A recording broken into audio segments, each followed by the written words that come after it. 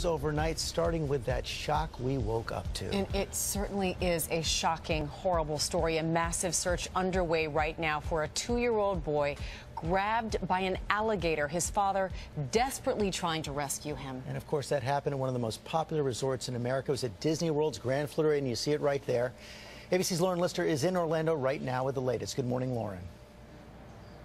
Good morning, George. This morning, authorities scouring a lagoon using choppers and sonar equipment, just searching for any signs of that missing child here at a Disney World resort. We're told that little boy wading into the water just about a foot deep when the alligator snatched him. A desperate search underway this morning for the two year old boy snatched by an alligator while wading in a lake at this Disney World resort overnight. The gator swam away uh, with the child, unfortunately, and as I said, we have not been able to locate that child. The father of the boy wrestling the gator to try to free his son. At some point, he did actually wrestle with the gator to try to recover his son. This morning, at least 50 emergency personnel on the scene hunting for any sign of the toddler. He was on the third day of a summer vacation, visiting from Nebraska with his parents and siblings. At 9:16, the first emergency call came in from the Grand Floridian Resort, an upscale resort which sits on the man-made Seven Seas Lagoon.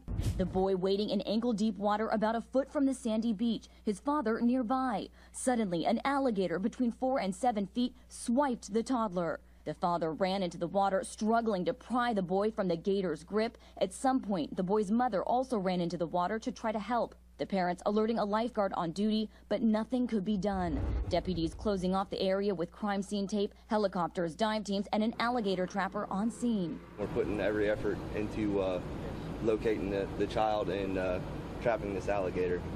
According to several witnesses, the family had set up a baby pen about 20 to 30 yards from the water on the sand during the hotel's movie night. The beach had clearly marked no swimming signs, but no alligator warnings. The sheriff's office said there had been no recent reports of any alligator nuisance, but just how many are located in the lagoon is still being investigated. Walt Disney World expressing their condolences to the family. Everyone here at the Walt Disney World Resort is devastated by this tragic accident our thoughts are with the family. We are helping the family and doing everything we can to assist law enforcement. And police say they've already taken four gators out of that lagoon, but so far, no sign of the missing child.